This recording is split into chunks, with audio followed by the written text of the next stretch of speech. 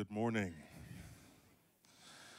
All right, if you and uh, just go ahead and turn your Bibles to Revelation chapter 22, and also if you would like to have any notes, uh, please raise your hand, and the ushers will get them to you.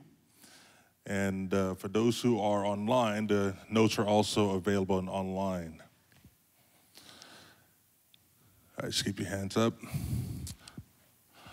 Also, before we uh, jump in, uh, traditionally on Saturdays in the prayer room, the, um, it's uh, kind of slim. and uh, our worship teams are, are full on those days. And, uh, and it should be a real, um, just a real encouragement to them just to have some warm bodies uh, joining them in worship and in prayer. And so I just want to just encourage just, we need a couple of hundred of you, a hundred of you just to pray and ask the Lord just to come for one set on a Saturday. You know, anytime, you know, you can come in the mornings, afternoons, evenings, night watches, whatever works for you. But just to, just to pray and, and see if the Lord would just give you a window uh, on Saturday and Saturdays and Sundays. Weekends, there you go. and uh, just to come and, and join the, the teams and just to worship the Lord. Again, just take a set or so, and uh, just want to put that before you guys. All right, uh, Revelation 22, and uh, let's pray. Father, we thank you, Lord, for your presence. Thank you, Lord, for your Son and the cross, Lord, and the way that uh, He provided for us, Father, to interact with you, Lord, to, to know you, to partner with you, to experience your presence. Father, I ask you, Lord, this morning, Lord, that you would open up our eyes uh, to your law. Lord, that you would touch our spirit, Lord, with your desire and your longing, Father, to draw near to us. In Jesus' name, amen. Well, in uh, March, uh, we went, and most of you know, we went on 40 days of, of just uh, focus seeking the Lord. And, uh, and during that time, uh, one of the things that the Lord really just uh, surprised us with and, and energized our conversations with was the, was the subject of the, of the Laodicean spirit in the church of Laodicea. But the, the invitation to that church, and really as the way of overcoming this Laodicean spirit, which is not what we're talking about this morning, is, the, is verse 20, Revelation chapter 3, verse 20, where the Lord invites his people to, uh, to come and to dine with him. And it was also during that time, if you recall, that uh, the Lord uh, gave uh, Mike this, this open vision of the, of the door, this door of glory, and and the Lord basically, essentially promising us to, to release grace upon our hearts, to, uh, to open up our hearts to Him in a greater way, and to, to fellowship with Him uh, uh, uh by the grace of God. And during that time, one of the passages that uh, was highlighted was John chapter 13 to 17. That John chapter 13 to 17 was one of the uh, primary passages, the, to, uh, to grow in and to understand for us to experience that door of grace, uh, so to speak, that Revelation 3:20 was, was talking about. And so, uh, the way I like to think of it, the Lord initiated, so to speak, a conversation um, with our spiritual family. But we also found out since then that there were other leaders across the body of Christ that the Lord was highlighting John 13 to 17 to them. And so it's kind of a bit of a tip off that the Lord is actually having this conversation uh, with the body of Christ at large to say, hey, I've got these five chapters, and there is uh, there's much insight that. Um, uh, that I want to give uh, to the church to equip our hearts to walk in intimacy, in love, and in power, even as the days unfold. And so, a part of my goal this morning is just to kind of uh, continue to put that conversation in front of us, to kind of catch us up on the conversation.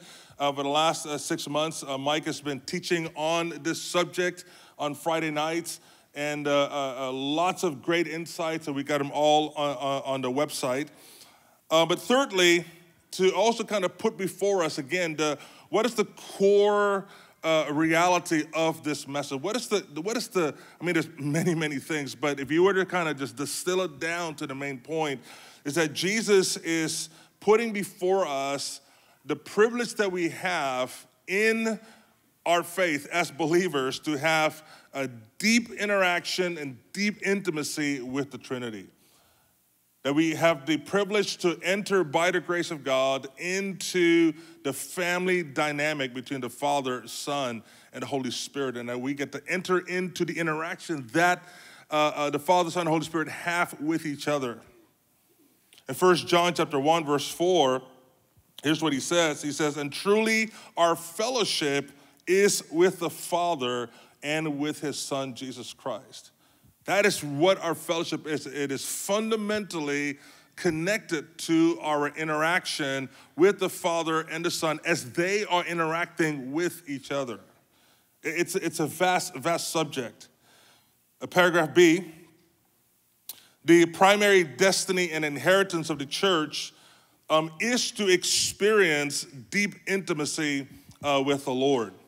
You know, I think that um, uh, as I've been uh, in the Lord for the last 30 years, there's more and more believers that are getting convinced of that, but there's still all too many that believe that intimacy is with the Lord, the deep things of the Lord is reserved only for a chosen few. And beloved, it, there, it, there's nothing further from the truth that every believer has the invitation, has the destiny, and the inheritance of, of deep interaction with the Lord, where, where we experience the Lord's presence and His power and His love and His wisdom and grace and all the things available to us that we experience those things on a deep level uh, in our spirit. Not only that we experience them at a deep level in our spirit, but that we have the grace to express them to those that are around us.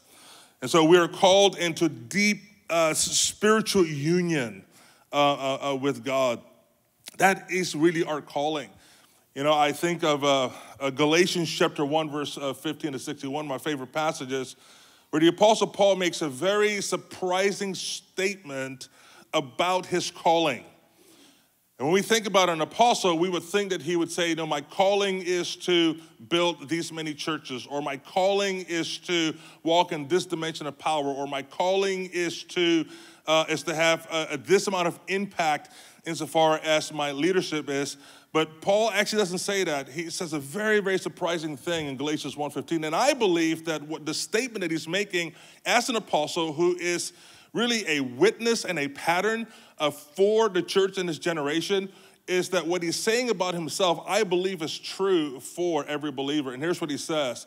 He says that it pleased God who called him from his mother's womb. So he's talking about his calling.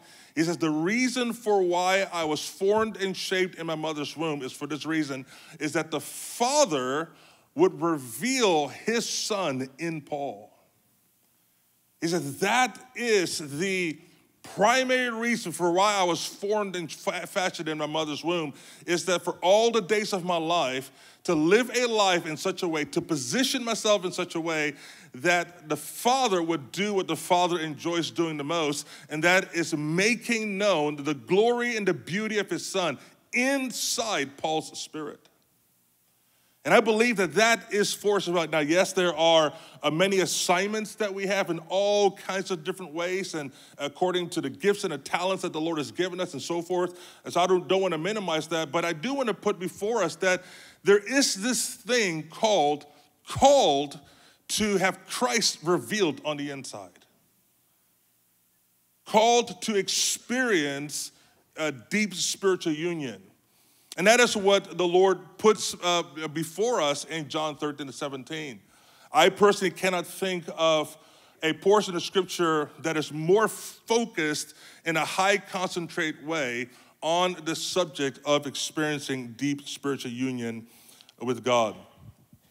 A paragraph C, uh, Jesus tells us that, that the purpose of the instruction is to, uh, is to help believers walk in victory in the, in the context of growing global pressure. He instructs his disciples that as we dialogue with the Lord, that our hearts get filled with peace, joy, and keep us from crumbling, from falling away under pressure. Paragraph D the upper room discourse is what uh, it is uh, commonly known as. John 13 to 17 is commonly known as the upper room discourse. It, it's a blueprint or a pattern and, and a map and a pathway uh, uh, to the glory and the destiny of the church. Uh, uh John 17 is, is the climax of these uh, five chapters where we see the glory and the destiny of the church, what it is that God has fully in store for the body of Christ, insofar as unity with one another, insofar as the experience of our relationship with the Father and the Son, insofar as the love expressed to one another, the love received from God, and the love expressed back to God. Now, in paragraph E, uh, Jesus prophesied of a coming a time of great pressure on the earth. And I, and I intentionally say Jesus prophesied. He didn't just mention it, he didn't just teach it, he, he spoke prophetically about great, great, great pressure uh, coming on the earth. Now, unfortunately, uh, there are some that um, uh, live in denial of this fact. And uh, and are, and are experiencing deep elements of grief. And when, when I look at the culture today, and when I look at the comments that I hear uh, uh, across the body of Christ just in different ways, it's, it is as though currently we're experiencing the five stages of grief.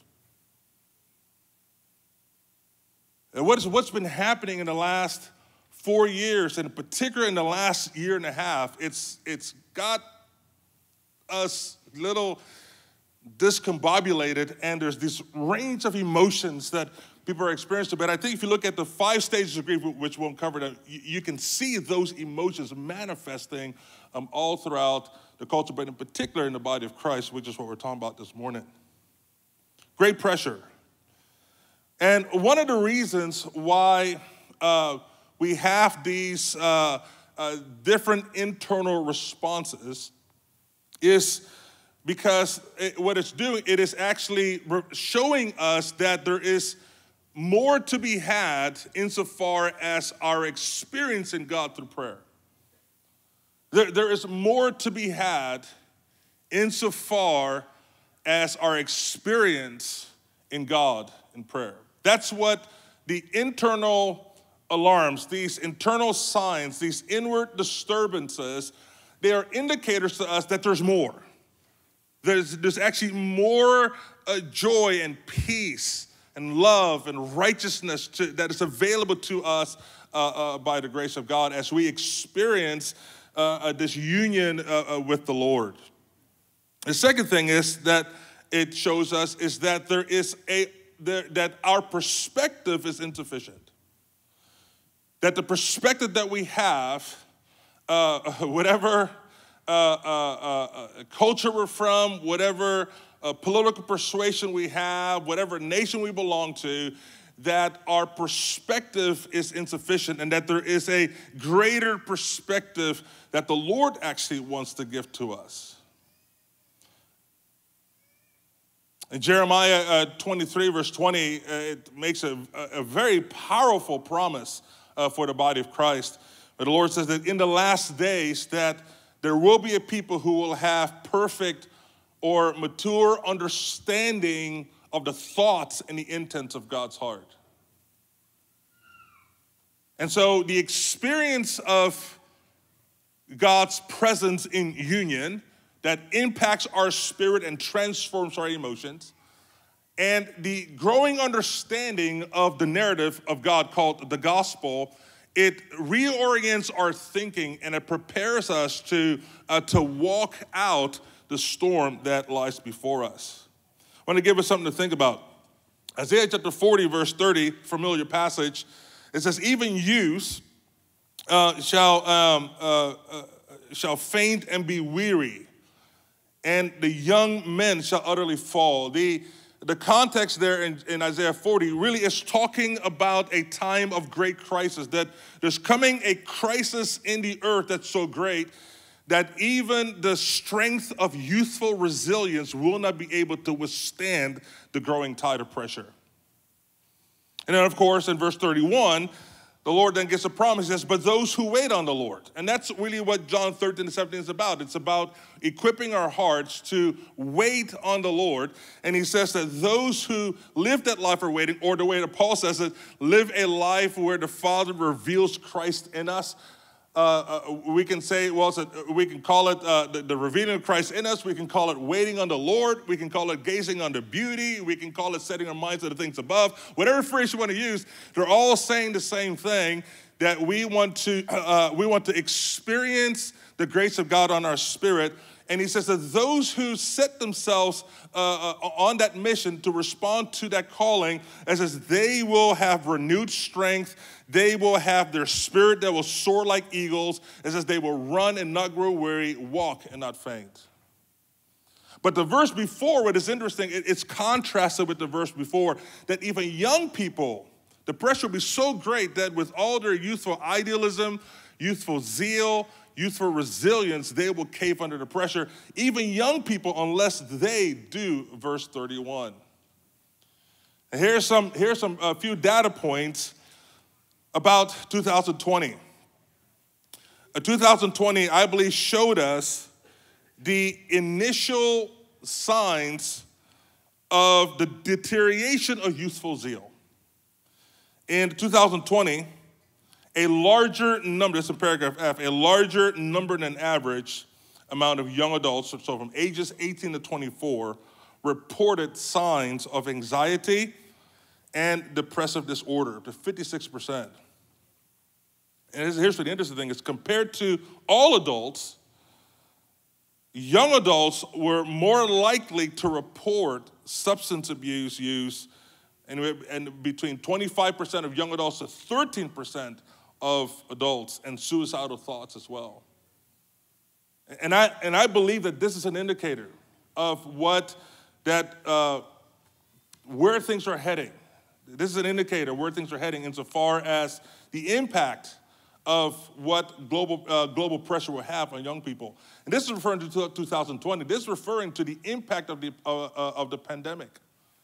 Does the, the, the emotional impact. And again, and I just, I go, Lord, I said, this is brilliant. I mean, not only did you speak it, you know, three, 4,000 years ago, 2,000 years ago, you gave us John 13 to 17, and just within the last 12 months, you've begun to stir the body of Christ across the nation, undoubtedly across the nations of the world, to say, hey, John 13 to 17 is a roadmap and it is a pathway and it's a model of and it's an invitation of deep intimacy and union with God that will actually cause us to stand in the, in, uh, in, in the context of the coming pressure.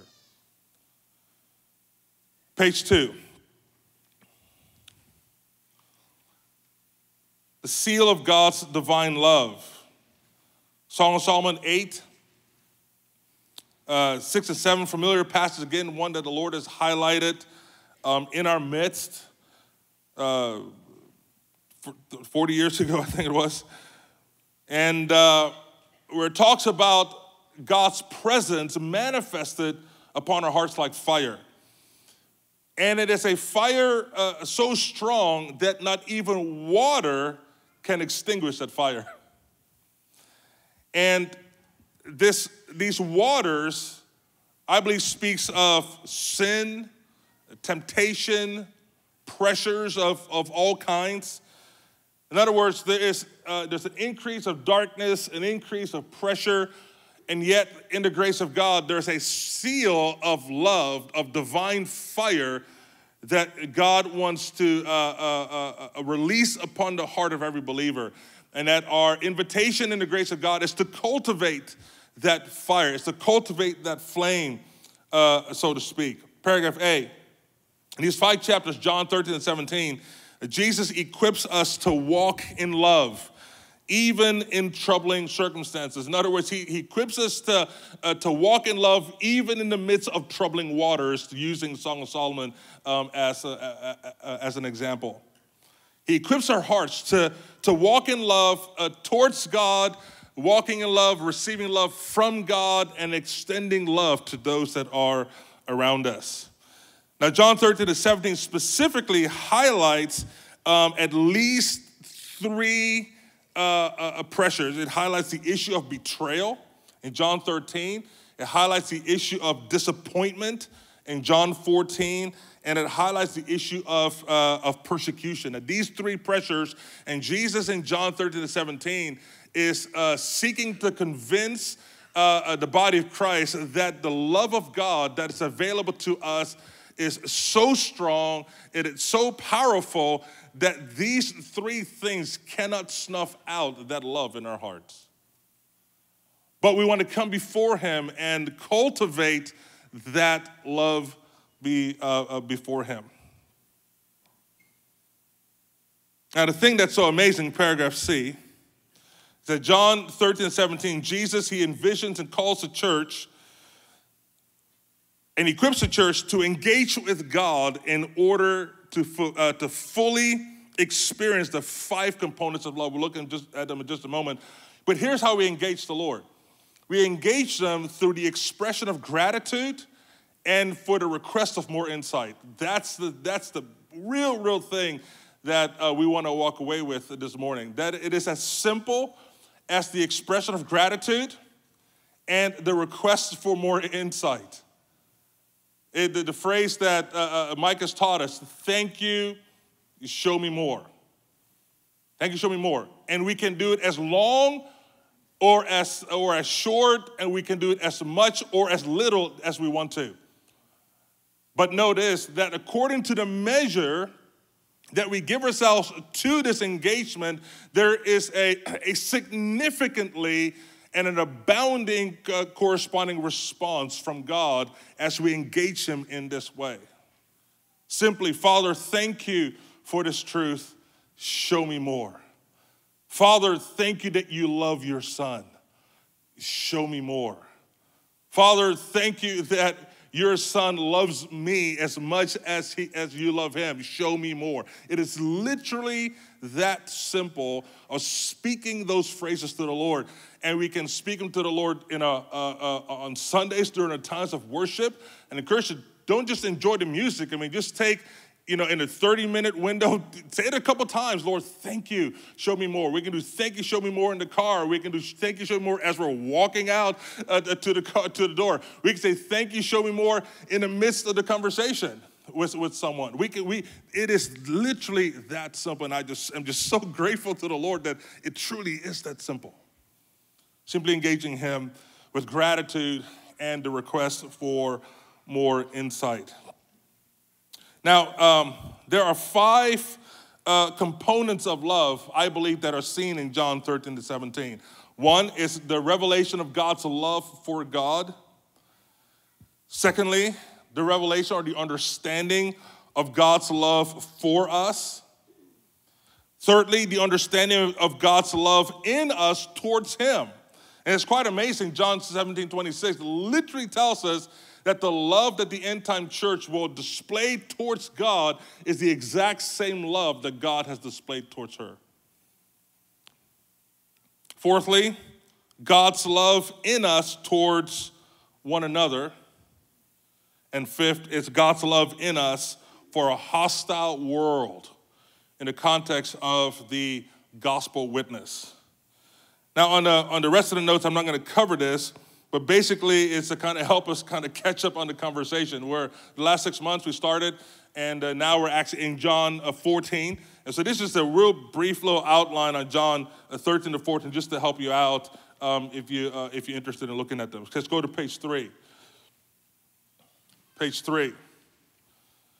You know, one of the core messages of John 13 uh, to 17 is the experiencing of deep a spiritual union with the Lord or uh, uh, uh, a spiritual union or intimacy with the Lord where we can experience Him in a very, very deep way by the Holy Spirit. By the way, that is one of the questions that Jesus is answering in John 14 to the disciples. They're going, "Hey, you're leaving, so, so, so, what does this mean in terms of our engagement with God?" And Jesus says, "He, he says, you have no idea uh, what it is that I'm about to do on that cross and what it is and what it is that's going to be purchased for you insofar as your interaction with me and my Father. The grace of God, Christ who is our life. You know, John 14, 6, you know, Jesus says, I am the way, the truth, and the life. I mean, again, it's so true to these five chapters. I mean, every line, sometimes every phrase, sometimes a word, I mean, it's just layered with implications in terms of what Jesus is saying there. In fact, when Jesus says that I am the life, I mean, I'm the way, the truth, and the life, I mean, just the life alone, the Apostle Paul in Galatians chapter 2, in Colossians chapter 3, and Romans chapter 6 expounds on great detail of what it means for Jesus to be our life. And so when we think about Jesus being, because we're, because we're so accustomed to using this verse in the context of evangelism, and that is for sure appropriate, that, that, that Jesus is the bridge, and he's the way, the truth, and the life. No man comes to the Father except through him. Do you want to accept Jesus? Yes, amen. Let's move on. And there is, and you know, how, how many of us are grateful for that truth? Is what brought us into these chairs, right? So I'm so grateful for it. But I want to say that Jesus is saying a whole lot more than simply giving an invitation to eternal life. He is saying something in terms of an experiential reality that will be made available to us. And the Apostle Paul in Galatians chapter 2, Colossians chapter 3, Romans chapter uh, 6, and other passages, there's many more, uh, actually expounds on the implications of what it means for Jesus to be our life. Galatians chapter 2, verse 20, for instance, Paul says this I've been crucified with Christ. I, uh, uh it is I no longer live, sorry, it's I no longer who lives, but Christ lives in me. And the life which I now live, I live in the flesh. I live by faith in the Son of God. In other words, there's an exchange that has taken place. Paul saying that I have ceased to live by my own source. And there is a whole other source, the very life of God that has entered in me. And the life I now live in the natural, in the day to day, in all my interactions as an apostle, as a leader, as a brother, as a father. I mean, whatever the roles are in my life, I live that according to an entirely different source. And it's the very life of God in me because Christ is our life. Life, the concept of life, it's a very abstract concept. But here is the partially what it means, what the meaning of life is. It means to possess or having the ability and the capacity to function, to change. Is there a paragraph A? To show growth, uh, to sustain, or to be productive. That's what it means. So when, when, when there's life, there's change. So when there's life, there's sustenance. When there's life, there's growth. When there's life, there's change. When there's life, there is productivity. And so life is experienced in our physical life. We were born into this world um, uh, uh, in this physical life, but the scripture tells us that though we were physically alive, we were dead in our spirit, which means that our, which means that our spirit, there was no change in our spiritual life. There was no growth in our spiritual life uh, there was no productivity that came from our spiritual life. And by productivity, meaning uh, a productivity that actually counts before the judgment seat. He says, We were dead in our trespasses, Paul says. And so, through the born again experience, we were made alive. The very life of God entered into our spirit. So now we can change, be transformed, be sustained, have productivity, and so forth.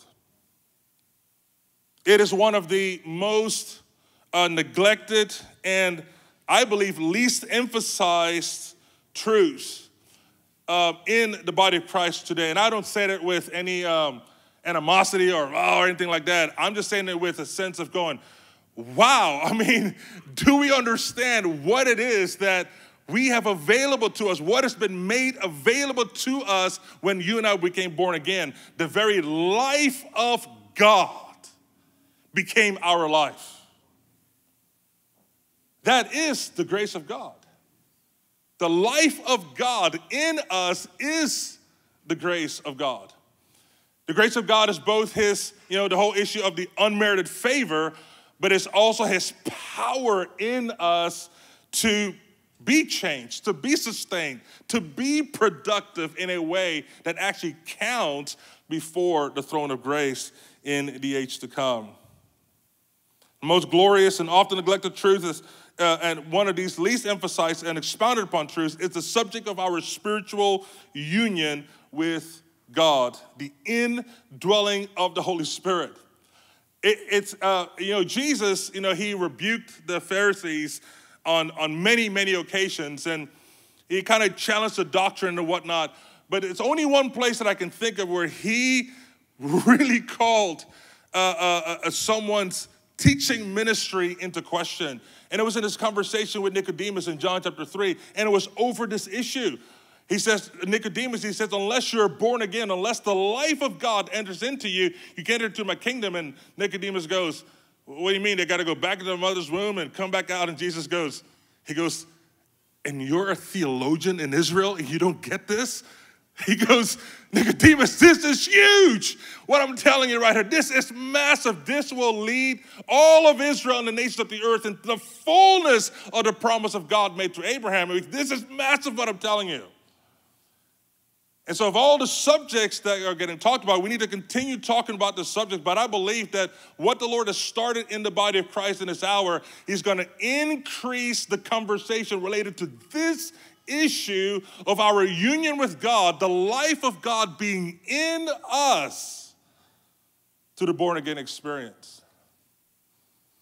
In fact, what is interesting is in John 14, verse 26, Jesus talks about the ministry of the Holy Spirit. And here's what he says The Holy Spirit will teach you concerning these things, and he will remind you concerning these things. I believe that is the primary thing that the Spirit will do insofar as bringing to us the understanding of Christ is coming alongside us to teach us and to instruct us about the wealth that is available to us insofar as our intimate union with God. But, but you know what? Here's the funny thing. I just had a bunch of words. Here's the takeaway point Father, thank you. Show me more. Thank you. Show me more. And we will even experience things in our experience things in our spirit that are beyond words. So it's not even about the words. I'm putting before us the grandeur of what it is available to us, and I'm doing a really poor job at it. But I know this that it's as simple as this Father, thank you, show me more.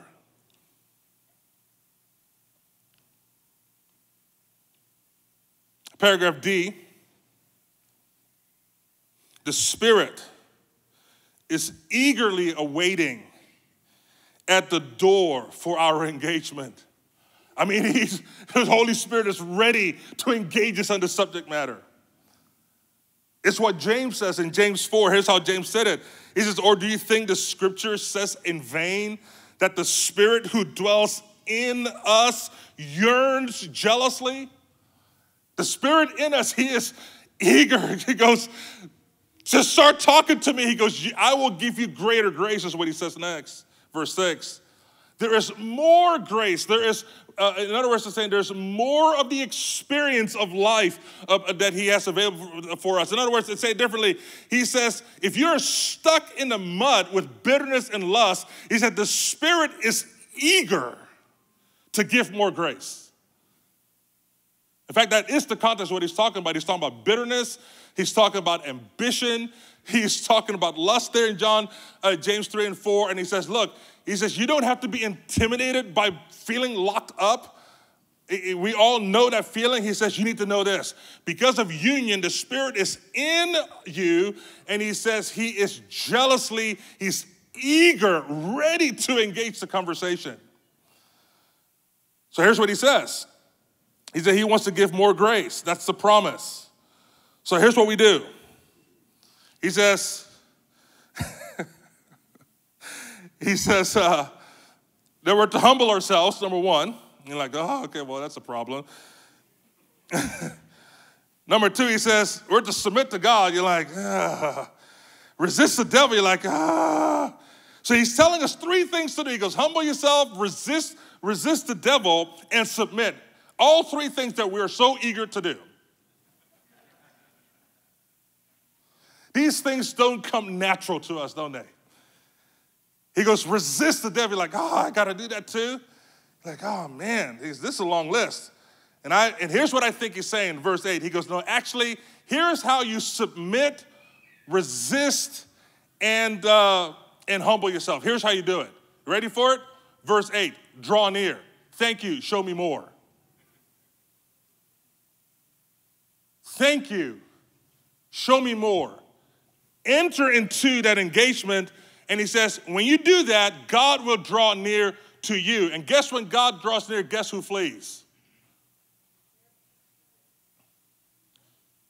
And so the resisting, the humbling, the, uh, uh, uh, uh, the, the submitting happens the more we engage in the simple conversation. Thank you. Show me more.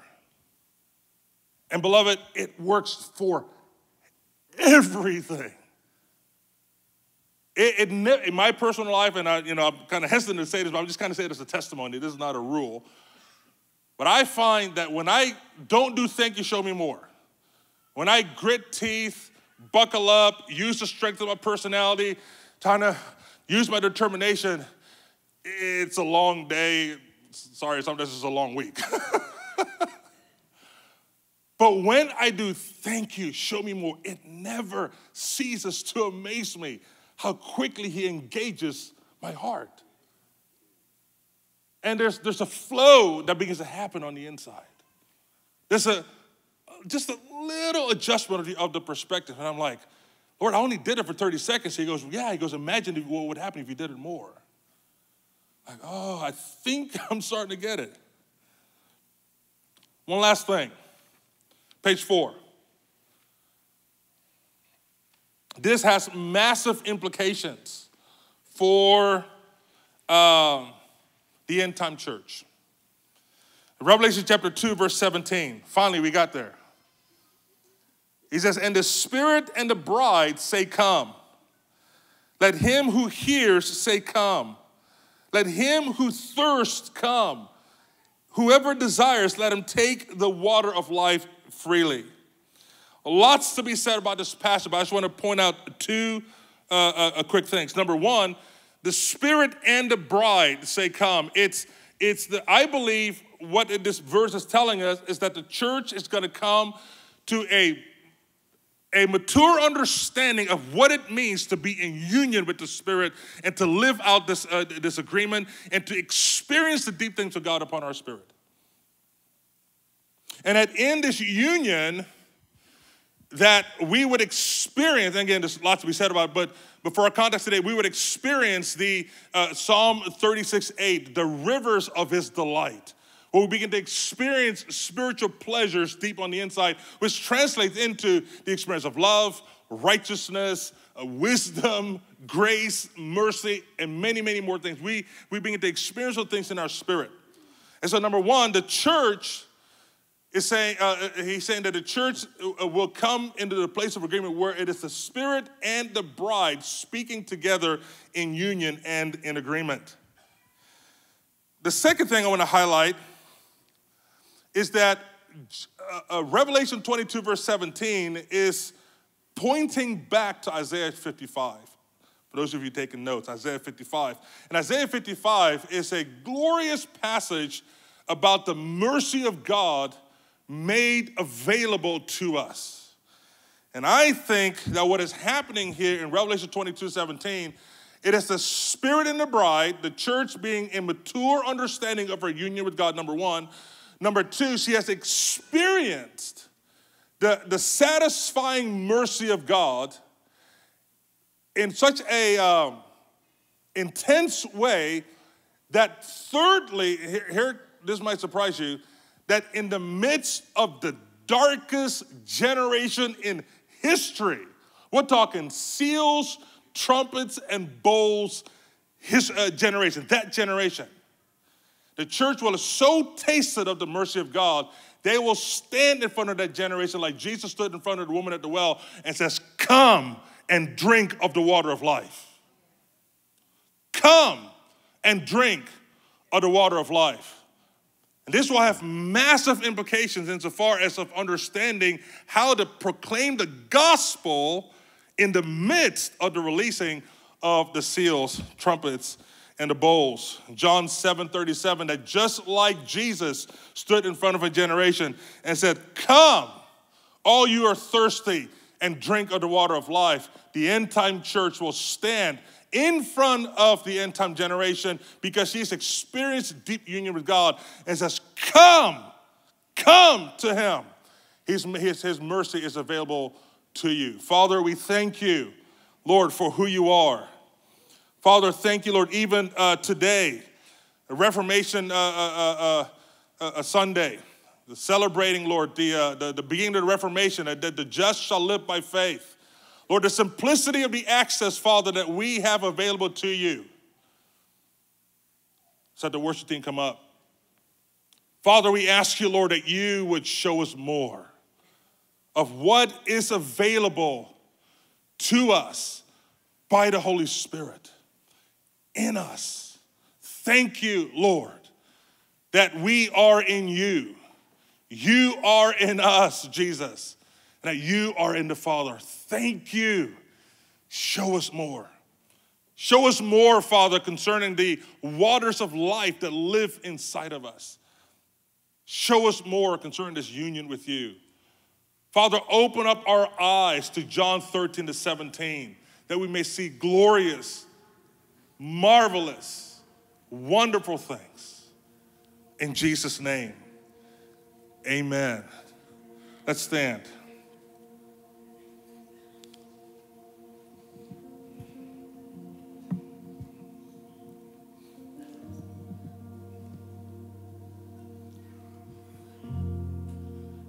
Beloved, this is good news.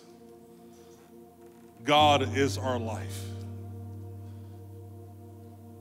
The holy, majestic, transcendent, all powerful God has taken residence in us by the Holy Spirit. And He is our source, He is our life. Let's just worship the Lord.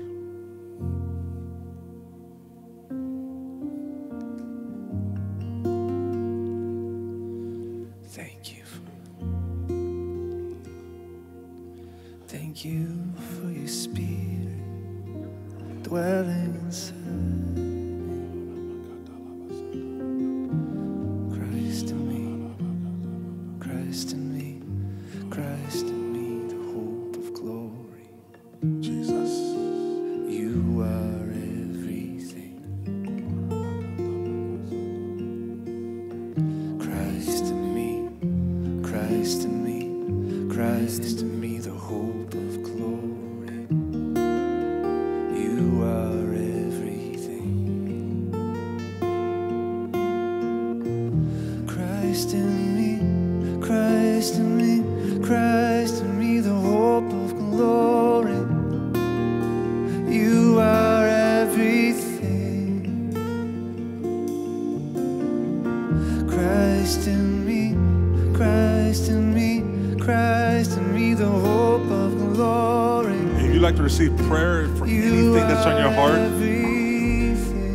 Invite you to come to the front.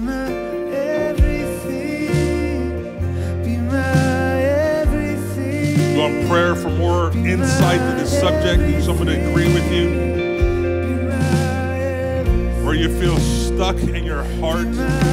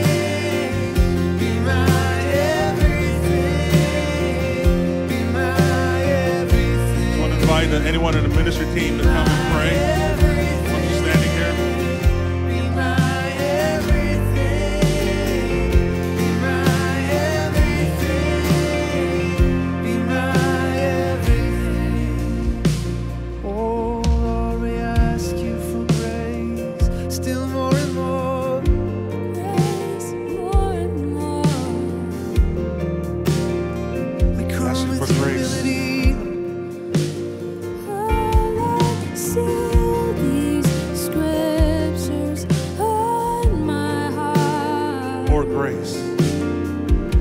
This won't be by my strength, only yours. Lord. Thank you for your grace and show us